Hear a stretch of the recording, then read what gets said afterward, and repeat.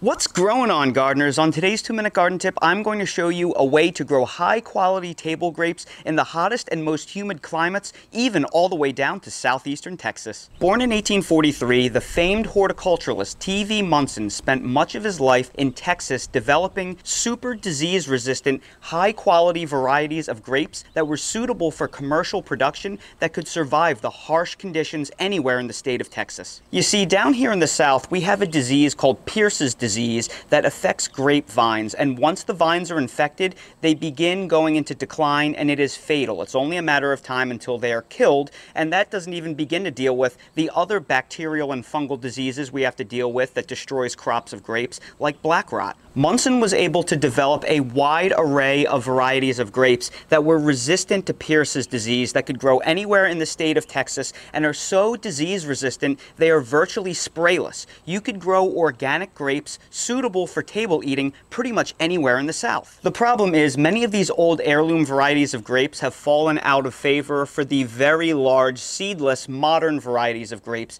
that we are used to seeing today. However, there are virtually no varieties of seedless high quality grapes on the market right now for residential growers to grow that are Pierce's disease resistant. Pretty much all of the Pierce's disease resistant seedless varieties that I've seen that are pretty new aren't available to residents. They're really just for commercial farms. So in modern times, if you were a southern gardener that wanted to grow grapes, your options were to pretty much grow muscadine varieties or just deal with the new varieties on the market and just wait for their inevitable death and ultimate low yields. But with the resurgence of interest in backyard gardening, a lot of these older heirloom varieties of grapes are being rediscovered. That's why I'm incredibly excited to show you this old heirloom grape that I'm growing called Mrs. Munson. It is a TV Munson variety developed back in the 1800s that was recently rediscovered and is becoming popular again. This variety is only on its second year in ground, and it has already produced a nice crop of grapes for me.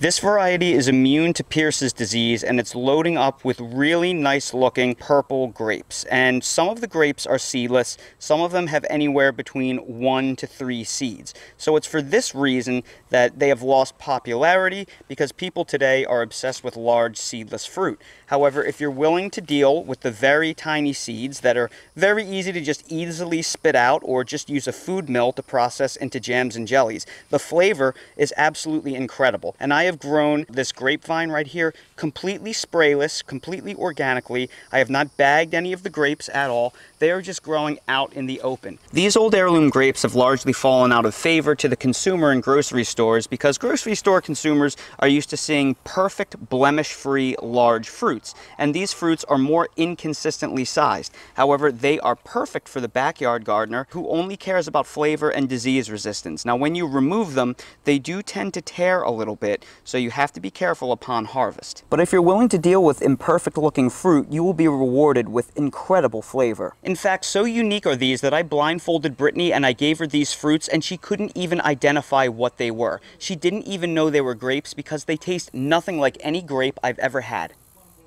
Mm. Both of those grapes were completely seedless. They taste nothing like a grape. They honestly taste like a cross between a plum, a cherry, and maybe a blackberry. And the only thing grape related here is the texture. Here are two more.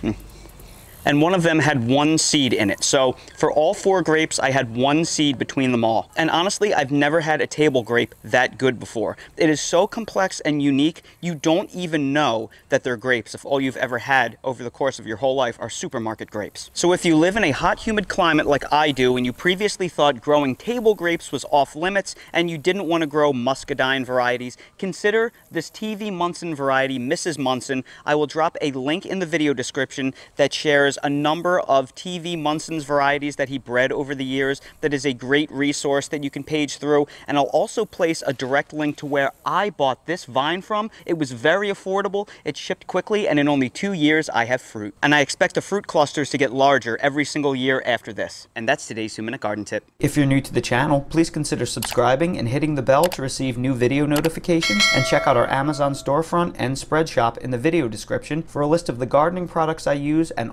custom designed apparel and other gear, your support is greatly appreciated.